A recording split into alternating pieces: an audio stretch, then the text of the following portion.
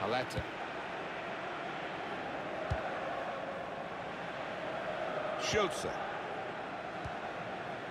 Carimeda. Borja Baston. It's good work between these two. Still passing, but not really making inroads. They've opened them up here.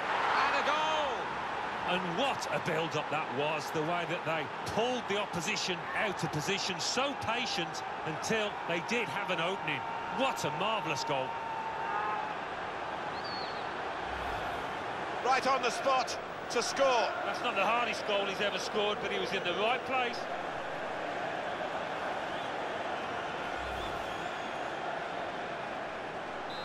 So the first goal.